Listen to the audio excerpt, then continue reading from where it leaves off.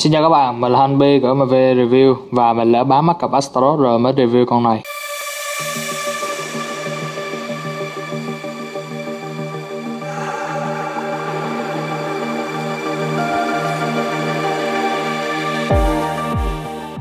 Vua là một Gundam thuộc series EBO mà mình thấy EBO ai cũng xem hết rồi cho nên chắc là từ đây mình sẽ tua nhanh cái tiểu sử tại vì viết kịch bản như nó nó cũng khổ lắm chứ không có sướng hết gì cả còn về con uh, Vô thì các bạn cứ biết là nó xuất hiện trong manga ngoại truyện và địch thủ của nó là Astaroth Gundam. Mình biết là nhiều bạn sẽ đưa ra ý kiến là con này nhìn 60% giống với lại con Astaroth Origin nhưng uh, được một điểm là nó lại sơn là màu đen cho nên là chả đáng để mua con này. Nhưng mà mình sẽ đem cái ý kiến đó và ném nó vào thùng rác. Vì dù là patch nó có giống nhau chăng nữa nhưng mà mình thấy con Vô nó vẫn có những cái điểm nhấn riêng của nó và đặc biệt là cái màu đen đặc trưng nhìn khá là ổn mình chưa bao giờ nghĩ là một con Gundam lấy phong màu đen làm chủ đạo lại có thể ổn như thế này cả. Màu đen cộng với màu nhựa làm cho nó có một cái cảm giác như là màu semi flat black. Và nếu như các bạn chưa biết thì flat black là một trong những thứ quyến rũ nhất của màu cơ bản. Và mình phải uh, khen thêm một chút về cái đầu của Gundam này. Theo ý kiến của mình thì đây là thiết kế đầu mà mình có thể nói là đẹp nhất trong các Gundam EVO tính đến bây giờ chỉ là nếu như dành thời gian nhìn kỹ thêm thì các bạn có thể nhìn ra hai cái đốm đỏ trên trán này tạo cho nó có hiệu ứng như là có bốn mắt về phần vũ khí. Đầu tiên các bạn có cái khiên này. Và trước khi vào ờ, trang bị cái khiên mình à, đề cập một vấn đề nhỏ nhỏ. Các bạn có thể nhìn thấy một số cái patch màu hồng ở đây. À, thì đó là sticker. Và thậm chí là ở phía trước này nó có một cái patch có cái màu khá là giống kim loại này, này nữa. Nó cũng là sticker luôn. Trở về với cái khiên thì các bạn chỉ cần gắn nó lên đây và thế là xong. Tiếp theo các bạn có một cái khiên tròn và may mắn thay à, màu hồng ở đây đó là ba mảnh tách rời.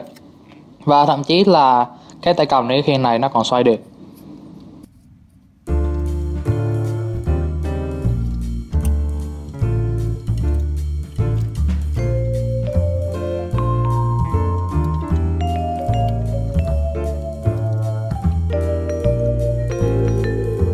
Tiếp theo các bạn có một cái cây búa, và cây búa này có thể nói là khá chắc chắn, chứ không dễ gãy như là cây kiếm của Lupus.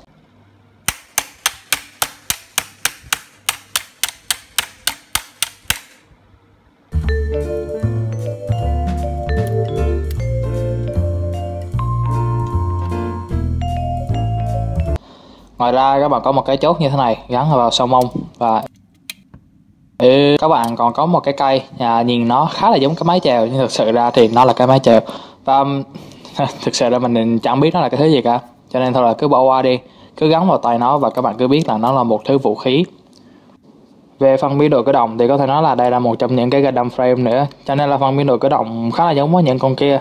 Cho nên là chúng ta hãy vào thẳng phần biên độ cử động để cho mình kết thúc video cho rồi. Đầu và cổ hai khớp cầu cho phép các bạn nhìn lên và nhìn xuống là như đây cánh tay cho một khớp cò cho phép các bạn xoay và một polycap cho các bạn hướng lên trên giáp vai đẩy lên trên à, tay đẩy ra ngoài bắp tay xoay và gập trên một khớp à, cổ tay cho một khớp cò bụng xoay và gập lên gập xuống một tí. Về phần khiên ở bên kia các bạn có thể nhỉnh lên và xoay.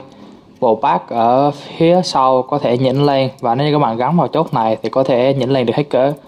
Váy trước đẩy lên váy ngang đẩy ra ngoài có thể xoay. Chân đá lên bắp chân xoay và gập trên hai khớp. Cổ chân cho một khớp cầu và một khớp gập bàn chân đẩy lên và đẩy xuống. So sánh tỷ lệ Pandagai, Julia và Strike có thể nói là lúc mà nhìn hình ảnh của dân tình sau trên mạng thì mình phải nói là chẳng có hứng thú về con hàng này cả. Nhưng mà vì một cơ hội bất ngờ mà mình được cầm con hàng này trên tay thì có thể nói là nó ngầu hẳn ra và có phần khá là hài lòng. Rất là nhiều Gundam bị trường hợp như thế này. À, lên hình thì nhìn nó có vẻ như shit nhưng mà ngoài đời thì phải nói là nó ổn đến bất ngờ luôn. Ví dụ như là con à, uh, mới ra gần đây và con Amazing Strike Freedom. Nếu mà vì thế cho nên là mình có thể nói đây là một con game đam rất là đáng mua. Và chỉ có thế thôi. Cảm ơn các bạn đã theo dõi và hẹn gặp lại các bạn trong clip NTR sắp tới.